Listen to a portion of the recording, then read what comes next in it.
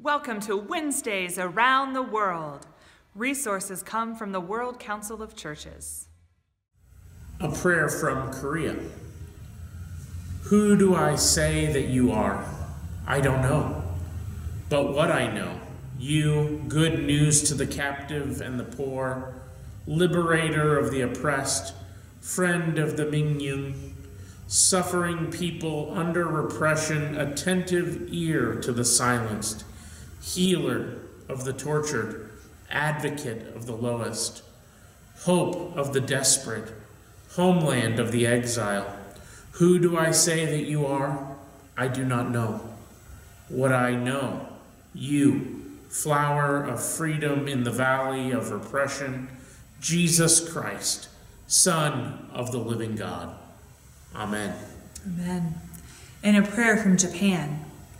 Eternal God, we say good morning to you. Hallowed be your name. Early in the morning, before we begin our work, we praise your glory. Renew our bodies as fresh as the morning flowers.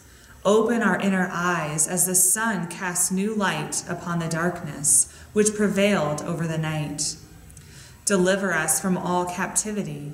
Give us wings of freedom like the birds in the sky to begin a new journey. Restore justice and freedom as a mighty stream, running continuously as day follows day. We thank you for the gift of this morning and a new day to work with you.